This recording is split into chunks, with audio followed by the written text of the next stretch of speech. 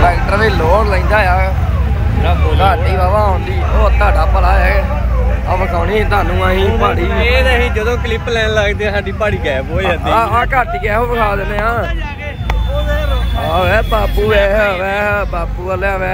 ਲੈ ਆ ਸੇਖੂ। ਮਗਰ ਕਿੱਥਾ ਹੋਈ ਆਹੋ।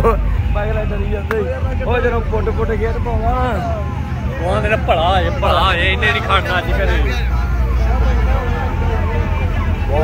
ਨਹੀਂ ਇਹ ਹੈਗਾ। ਇਹ ਹੈਗਾ। ਲੋਕ ਹੈ ਨਾ। ਸਿੱਧੀਆਂ ਮਤਲਬ ਲੰਘ ਰੁਪਏ ਇੱਧਰ ਵਾਵਾ ਵੇ ਲਗਾਈ ਇੱਧਰ ਵੇ ਇੱਧਰ ਵੀ ਉਹੀ ਆ ਇੱਧਰ ਵੀ ਉਹ ਆ।